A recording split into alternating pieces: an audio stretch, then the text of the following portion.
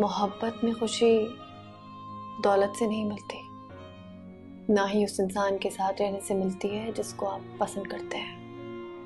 मोहब्बत में खुशी सुकून से मिलती है। और वो सुकून आपको कहीं भी मिल सकता है। मेरे साथ ज़िंदगी मुश्किल हो सकती है। तुम्हारा साथ होगा तो